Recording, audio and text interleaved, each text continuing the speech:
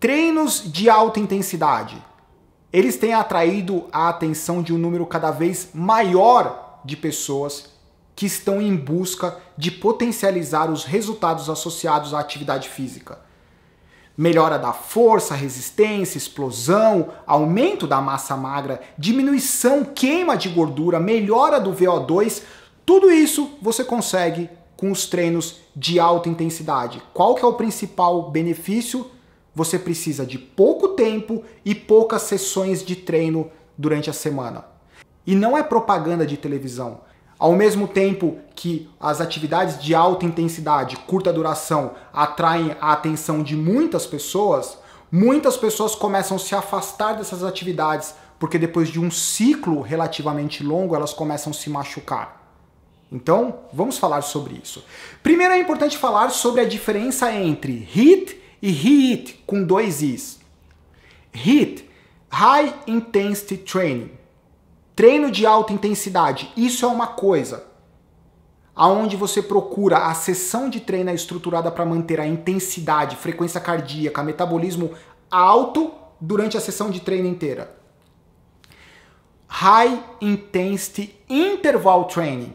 Treino intervalado de alta intensidade. Como o próprio nome diz, obrigatoriamente você tem que ter intervalos na estrutura. Em geral, se você for dar um Google nesses dois métodos de treino, você vai encontrar uma variação muito grande. Ambos os métodos, eles prometem e eles atingem resultados que antes só eram associados, por exemplo, a atividades de longa duração e baixa intensidade, como queima de gordura, melhora do VO2. Tudo isso é fantástico. Agora, se existem só pontos positivos em relação à atividade, por que, que tantas pessoas se machucam? As pessoas acabam se machucando porque elas esquecem da essência da proposta do treino. Qual que é a essência de ambos os métodos de treino?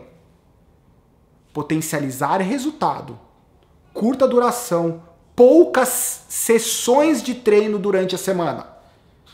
O ideal entre duas e quatro sessões de treino. Duração 30 minutos, 15 minutos, 40 minutos em alguns casos, como o método Tabata, que é um treino intervalado de alta intensidade, apenas 4 minutos. São 8 blocos de 20 segundos de atividade de alta intensidade por 10 segundos de baixa intensidade. Repete isso 8 vezes, são 4 minutos, tá feito. Você consegue resultado? Sim. Isso é apenas um exemplo. Existem várias combinações, várias estruturas de treinos que provavelmente próximo de meia hora você consegue ótimos resultados. Agora, por que, as pessoas se machucam? Esses treinos de alta intensidade, intervalados ou não, eles continuam precisando de um ótimo aquecimento e de uma ótima volta calma. Uma coisa é o bloco principal de treino. Outra coisa é como que você vai preparar o seu organismo para fazer aquele bloco de curta duração, mais intenso de forma segura. Um ótimo aquecimento, uma ótima volta calma, o que inevitavelmente vai aumentar um pouco a duração do treino. Não existe milagre em atividade física. O grande problema em atividade física é que quando você comercialmente você fala que o cara precisa de apenas 15 minutos de treino, não seria legal falar que, por exemplo, a sessão de treino vai durar uma hora, porque ele não tem uma hora ele tem apenas 15 minutos. Então você precisa de uma, uma ótima ferramenta, uma ótima eficiência, um ótimo profissional para te colocar preparado com um bom aquecimento para você fazer os, seus 15 minutos de atividade, por exemplo, ou os seus 4 minutos. Além do aquecimento e da volta calma que aumenta a duração da sessão de treino como um todo. Grande parte do resultado desse treino é lógico estar tá associado ao estímulo do treino, mas principalmente à recuperação. O lance de continuar queimando gordura após é porque o seu corpo precisa de energia para repor estoques de glicogênio, geralmente ele começa a pegar a gordura que está estocada e ele também precisa de energia para reparar os tecidos, as pequenas microlesões nos músculos que são positivas.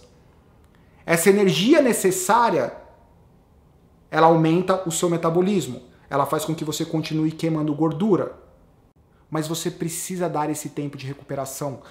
24 horas, 48 horas. Se você não fizer isso, esse acúmulo de estresse, ele passa a ser negativo e acaba te conduzindo à lesão, acaba te conduzindo a desequilíbrio hormonal. Principal erro: começar a fazer mais do que quatro vezes, quatro sessões por semana. Daí tem aquele cara ou aquela menina que fazem dois treinos seguidos. Porque só tem meia hora, eu sou o único da academia que consigo fazer os dois treinos seguidos, os mais difíceis da academia. Errado. O treino é estruturado para funcionar com uma curta duração. Você zera os seus estoques de glicogênio. Você faz o máximo dentro daquele intervalo de tempo com ótima qualidade. Você consegue fazer duas sessões? Conseguir fazer é uma coisa. Ser desejável e fazer com qualidade é outra completamente distinta. Esses treinos de alta intensidade, intervalado, intervalados ou não, você sempre precisa de alguém olhando para você para saber se a qualidade dos exercícios, se a técnica ela está sendo bem aplicada para que você minimize as chances de, de ter lesão. Se você respeita a técnica, os intervalos, a duração não existe motivo para imaginar que você não vai ter os resultados e vai evitar lesão. Agora, a partir do momento que você começa a se empolgar nessa história toda, a chance de se lesionar é muito grande e por isso que tem muita gente se lesionando. Não é por conta da atividade de forma isolada. É a empolgação com a frequência, com a duração, com a falta de recuperação, com uma alimentação inadequada. Eu acho que é isso. Qualquer dúvida, sugestão, por favor, os comentários abaixo. Tchau!